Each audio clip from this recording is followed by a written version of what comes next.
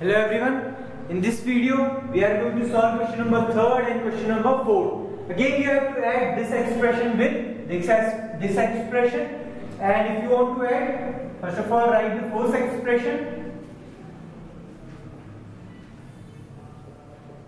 And below that, you have to write the same or you can say like terms. Here, this term is like p square q square. So this term is can be written below this term. And in this we have pq again is this is pq so this can be written as or you can say below the like term. And last 5 can be written here. No matter or you can say if you write this expression in first and this expression on right last it won't make any difference to this particular expression. Or you can say you can write or you can shift uh, terms according to yourself. But one thing is very important you can't alter the signs. If this is negative you have to write negative 3p square q square. So this makes our addition simple this is positive positive so this will can be added so 5 plus 4 is 9 this is positive, negative, so this is negative. So 7 minus 3 is 4, P, Q and positive because greater value has positive sign. Again this is positive, negative.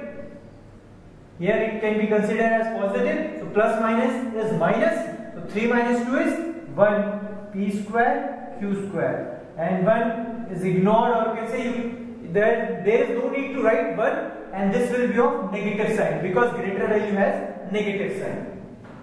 And if you want to solve this particular expression, there are four terms 1, 2, 3 and 4.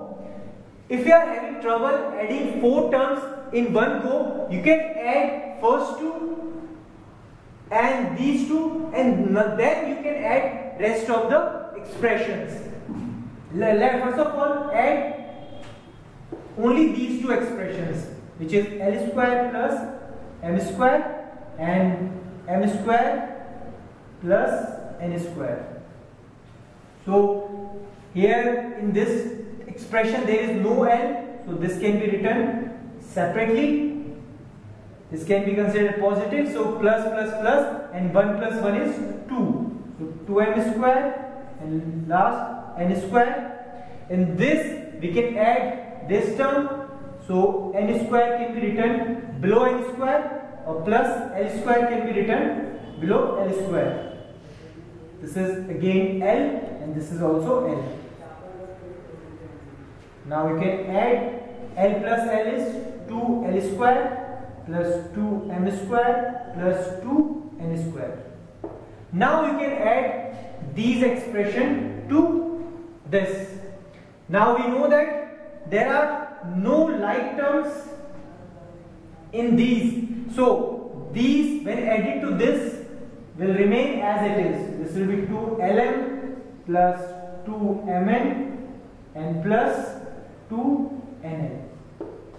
That is how you can add these expressions. Thank you.